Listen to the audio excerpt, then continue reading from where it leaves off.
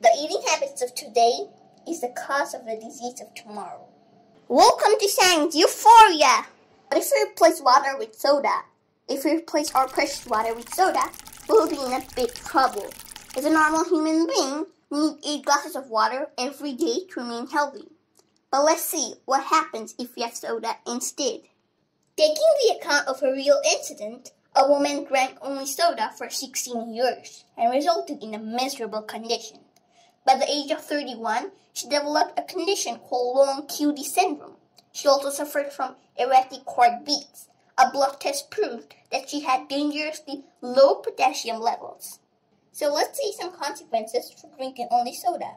Soda contains artificial sweeteners, caffeine, many acids, and much more.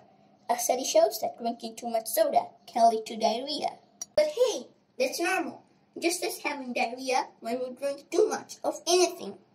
Soda also contains a lot of caffeine, which increases urine production. Overconsumption can lead to loss of potassium via urine. This can make us super dehydrated. Too much caffeine can also lead to insomnia, so you may be staring at the walls of your room instead of sleeping in the night. Potassium helps your regulate heartbeat, and thus the loss of potassium can make our heartbeat irregular. So you know, it's all related. As I mentioned earlier, soda contains many acids such as carbonic and phosphoric acids.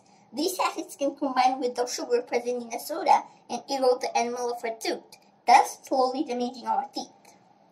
Soda also contains artificial sweeteners which lead to weight gain and diabetes. As soda contains a high amount of sugar, within 20 minutes, the sugar enters our blood and sends our pancreas into overdrive. As a result, the pancreas produces a burst of insulin, but over time, this may lead to diabetes. So, it is up to us to decide how we want to shape our consumption because too much of anything is bad.